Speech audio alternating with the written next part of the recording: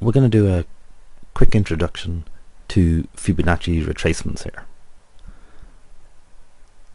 These are commonly used when you're dealing with trending markets. So, you know, this is on the Daily FX site. You can just go there yourself and mess around with it. With it. If I zoom back a little, I can kind of see, okay, this was a trending move. You can apply these on any time scale. So this is on a daily plot, but you could also use it on an hourly, even on a minute plot. So I'm just going to go down. So I did pitchfork and fib, fib for Fibonacci retracement. So, so now we're set. Move this out of the way and we're ready. Now there is some basically I want to identify the low and the high. So in this move, you know, this would be the low. It's the bottom of, it's when the trend began. And this would be the high. Now you could, some people prefer using the solid bar, you know, where the candle closed as their bottom and their high. Other people like, you know, the wick, the absolute low, and the wick at the top. It's it's a personal choice. I mean, there's there's no right or wrong answer there. So I'm going to use the actual candle wick bottom here. So move it up and I set the level at the top there and I'll drag this across. So now we're done. Oh, I have to press the button. Yeah, now we're done. So what does this do for us? Well, it sets bars at the different Fibonacci retracement levels. The main ones would be 50%. So that's, you know, halfway between the high and the low. Then there's the 61.8% and the 38.2%.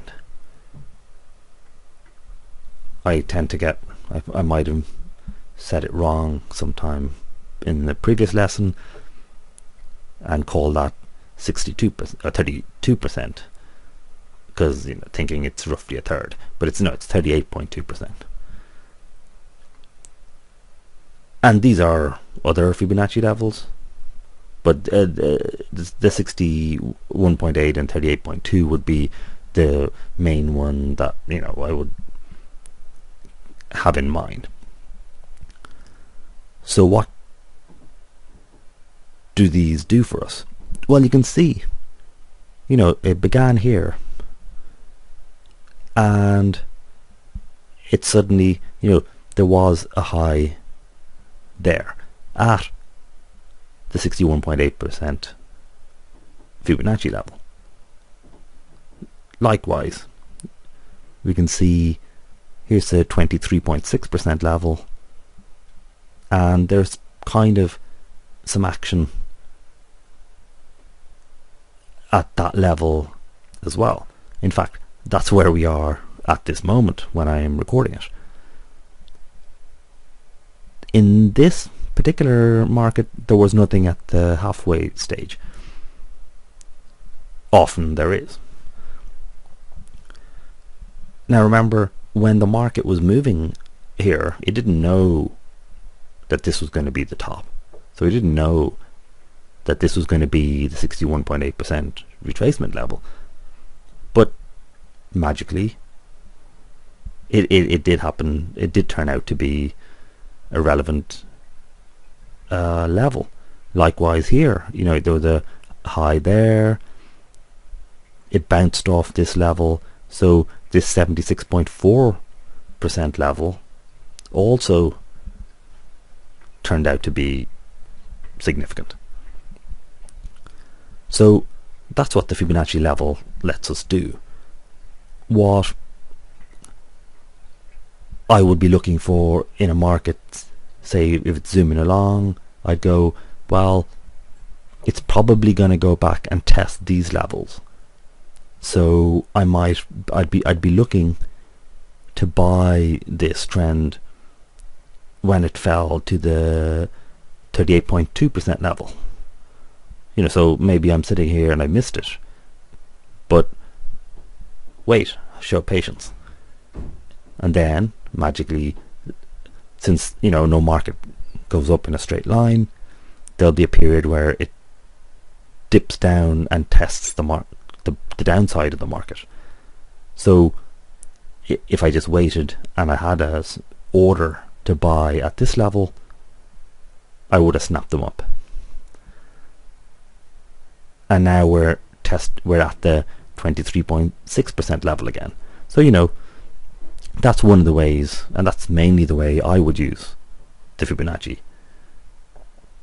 Often I would look to you know buy at the half, maybe put in a half buy order at the 50% level and half at the 38.2 or you maybe you would put an order to buy a half an order at 0.5 and one another half order at the 61.8% level and in fact some people would say you know if you saw the market having a top here you could then project forward and say this was going to be a top. It's not an exact science. It's just a, a framework to analyze trending markets in. And I'll be using these ideas whenever I'm looking at markets because they're just it just provides me with a vocabulary. And it structures your thoughts, and allows you to, you know, risk your trade and all that kind of stuff. So that's just my introduction to Fibonacci retracements.